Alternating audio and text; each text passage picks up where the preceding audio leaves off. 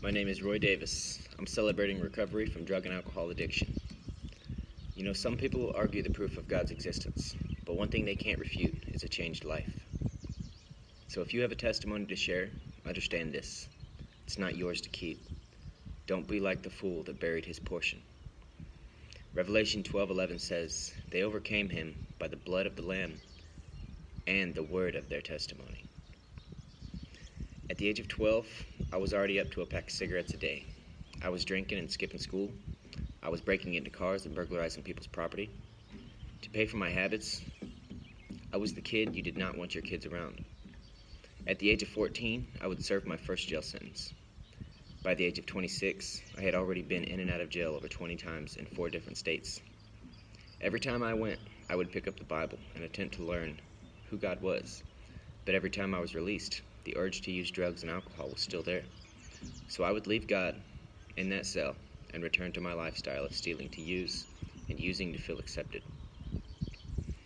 By the age of 27, I was no longer using to feel accepted. I was using just to function. I had become a recluse. I wouldn't let anyone get close. Those who tried to just got burned. Nobody was exempt from my theft. Those who were closest to me felt it the worst. I was at the end of myself. Every time I shot up meth, I wondered if this was finally it.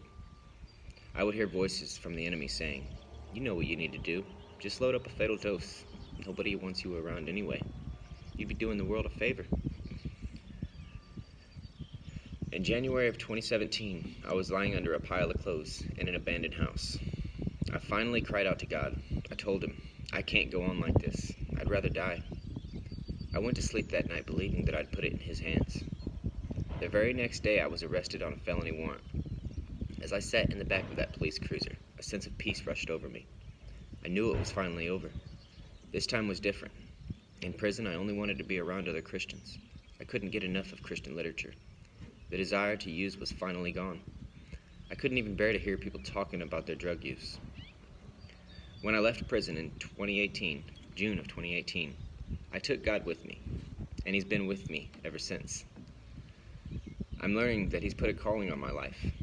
He's stirring up a desire in me to reach the unreachable and love the unlovable. Today I'm over four years clean. I'm living proof of God's existence. I'm living proof that God is good and that God does give us a new heart and a new life. I'm living proof that there is no such thing as too far gone. I'm part of Celebrate Recovery I serve in a landing where I get to serve troubled teens. I've asked, I've been asked to be a Celebrate Recovery Inside State Representative for Northeastern Illinois. God is paving a way for me to take Celebrate Recovery into Champaign County Jail. I also serve at Jesus is the Way Prison Ministry in Rantoul, Illinois, where I get to serve recently released inmates who love Jesus and just want a fresh start on the right path. My decision to turn to God was the best thing to ever happen to me. I look forward to the future now and I can't wait to see what else God has in store.